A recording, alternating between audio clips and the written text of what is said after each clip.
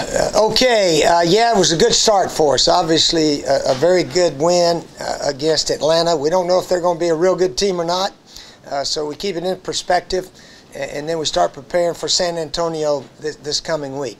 Uh, San Antonio could be one of the best teams in the alliance. We don't know yet, uh, but they won their practice game and won their first game also. So this will be a huge game for us. But some guys that don't get a lot of publicity that I think deserve it, certainly our defensive guys, especially our defensive linemen.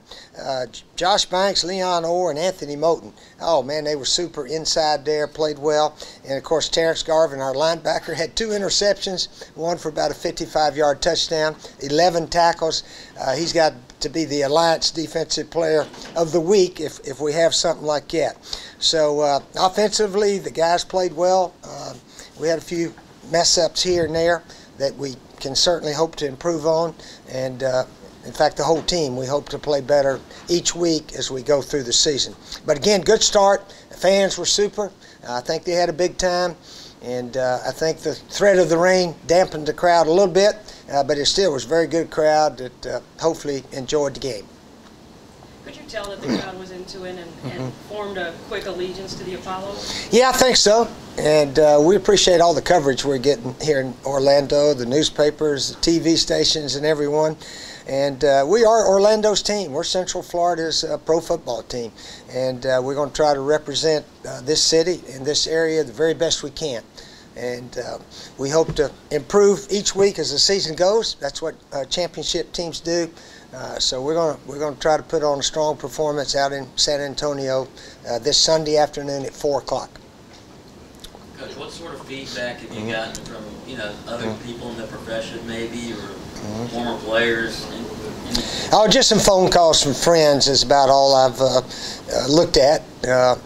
Uh, I did see the write-ups in the local paper were very nice. TV coverage excellent, and so forth.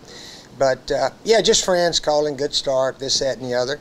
Uh, they've, they've seen a lot of our ball plays. I guess uh, the Orlando special one was people thought was interesting, but we've been throwing those ball plays a long time. And uh, but the guys really executed it well. Garrett handed it off, and uh, our running back sprinted out there and flipped it to Jalen Marshall, and uh, executed it uh, well perfection. And in fact, it was interesting because Connor Shaw at South Carolina, we ran almost the same play uh, against Wisconsin in the Capital One Bowl back in uh, January 1st of 2014, uh, which ended up being a big touchdown also. Uh, so Orlando, we call it the Orlando Special, but I don't think we can run it again because everybody's got it on video now, and they're going to be watching for the quarterback every time we hand off a sweep.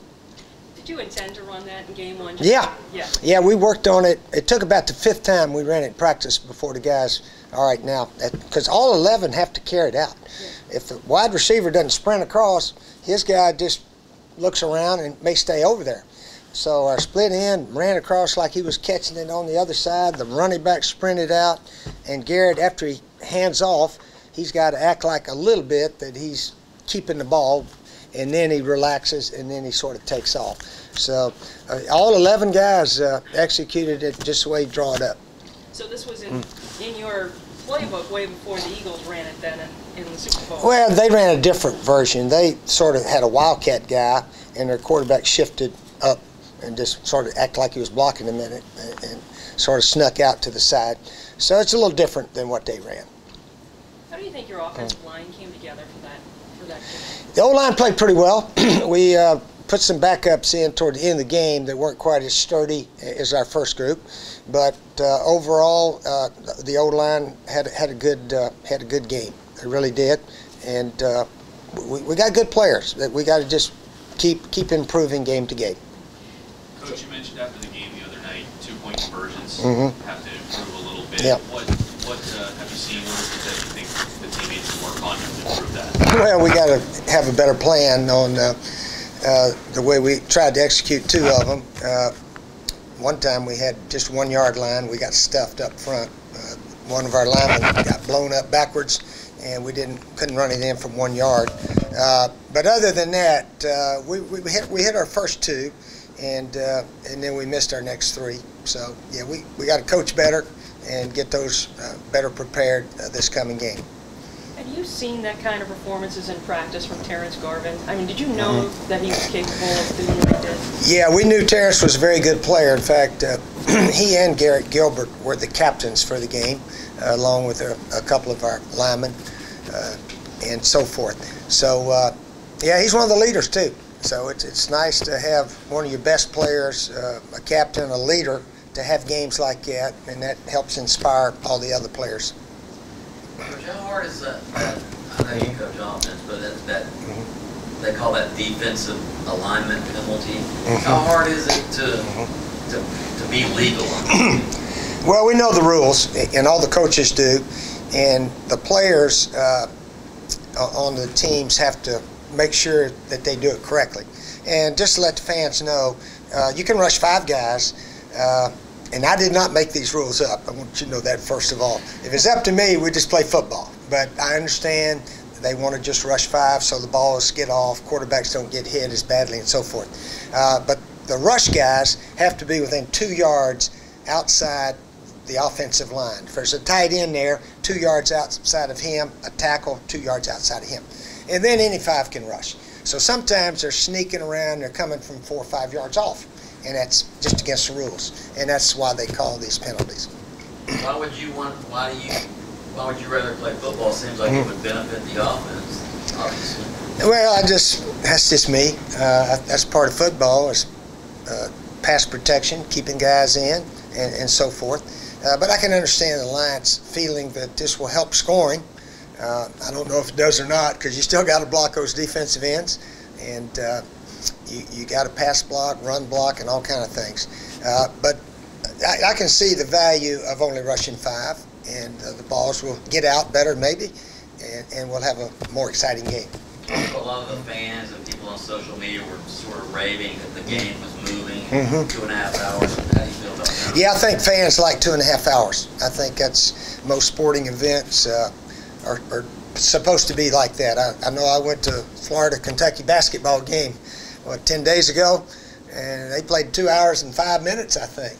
And I said, man, go to the game at four o'clock, and everybody's going out to dinner at, at five, uh, six o'clock, and six thirty, and things like that.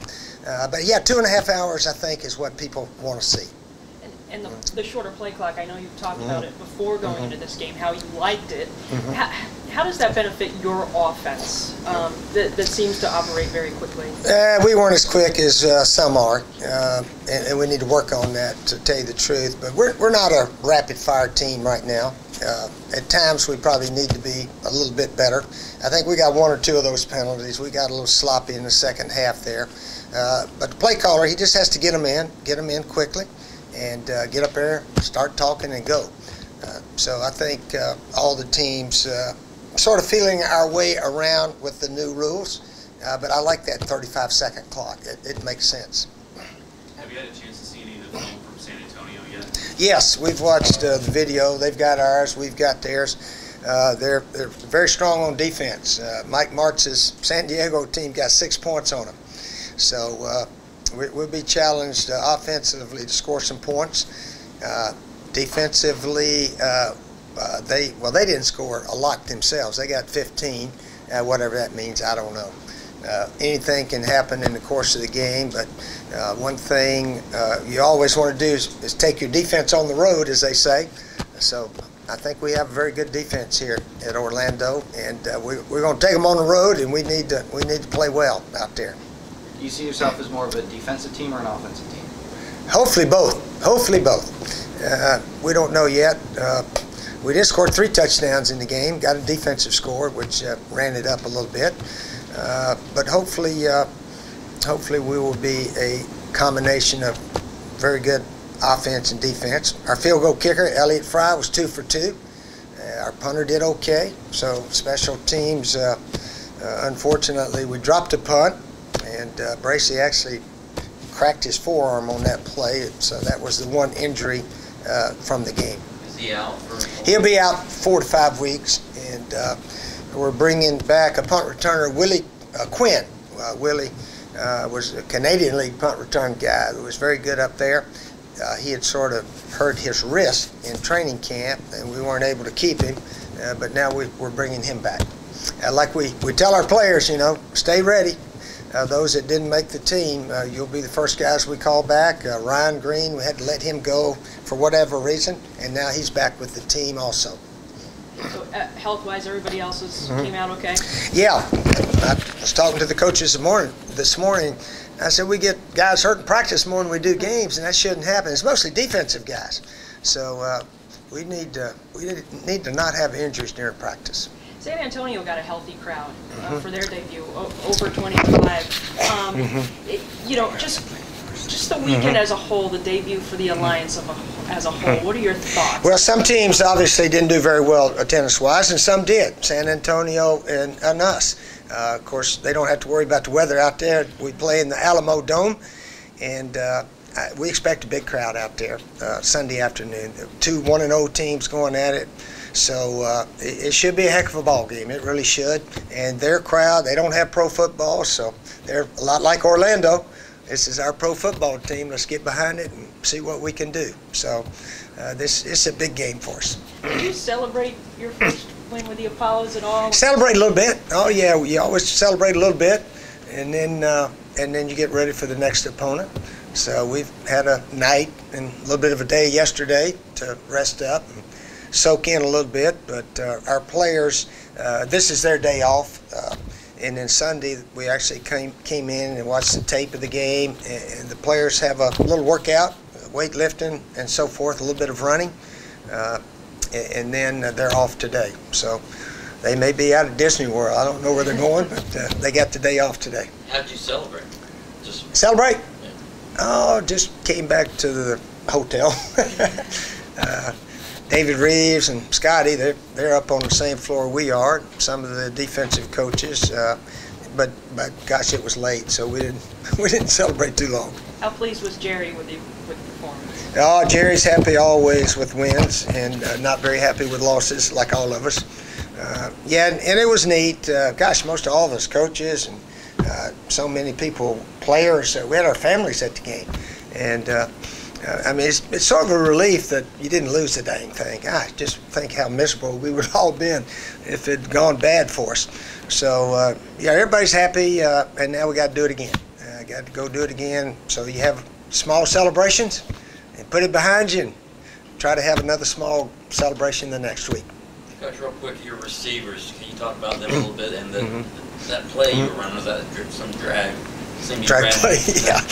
Yeah, it worked out pretty good. Uh, we put that one in. We, uh, we we've had a little drag routes in our game plan, and uh, we finally got well. It hit every every time. I think we were five for five, but one time the tight end sort of picked the guy. He did. He sort of gave him a shoulder, uh, which you can't do. You just hope to get in their path and make them run around you, and. Uh, but uh, we, we got one penalty on it. Uh, but yeah, that was a good play for us. Uh, San Antonio, they'll be looking for it this week. What did you think of the hit on uh, Mike Bercovici Uh, yeah, I thought that should have been a penalty. I thought the guy should have been thrown out of the game. That's my opinion on those things. And uh, if I have a different opinion than the Alliance, then we have a different opinion. But uh, yeah, that, that, there's no place in football for a helmet underneath the guy's helmet. And, and uh, in NFL, he's out of the game. In college football, he's out of the game. And I hope that we would do that also. But I, from what I understand, nothing was done, correct? It was not. No, no that- penalty or anything. Uh, I'm against that. I'll go on record saying I'm definitely against all that stuff.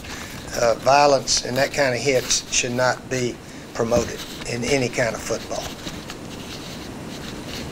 All right. I'm hoping the referees just missed it. I don't know how they missed it though, because I, I saw the replay myself. But yeah, we'll see what, what comes of that. And the NFC officials in the uh, championship, they missed it. They missed one. Well, they just missed interference. Yeah, yeah. All right, all right. Good seeing y'all. All right.